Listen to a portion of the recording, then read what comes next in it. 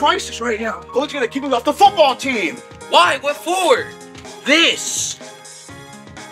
Look, it's Rege. It's hard, man. That's not good. You know. Ah, you still like him? I really want to talk to him. Well, what's stopping you?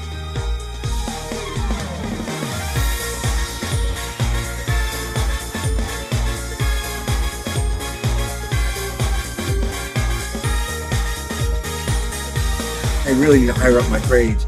I ain't wasting my time studying. I just want to play football and impress Kacie. Well, take that to your advantage. You're what they call the unbelievably charming type. If she has a crush on you, you can manipulate her to do anything you want, like your homework. That's just wrong, dude. And if you don't do this, I will show coach all your grades. It's fine, I'll do it. Just don't tell coach. Maybe I could give you my number? Oh my god, yes, please! Ah, ah, ah, only on one condition. I'm having trouble doing my homework. It's hard. And I was wondering maybe if you could help me out. It would mean a lot to me. What? You can bring it to me by tomorrow. You'll have my number.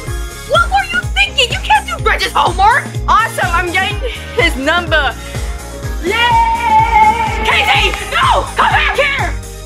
Kacie! Please tell me you're joking! Why are you doing Rege's homework? It's the only way to get Rege's number. Doesn't it seem a little strange? How do you even know you're gonna get his number in return? You're just jealous I got a cute boy than you. He's just losing you, Kacie! Just listen to me, please! Sorry, I have to do this. I gotta go tell Kacie about this. With what footage? What? Hey!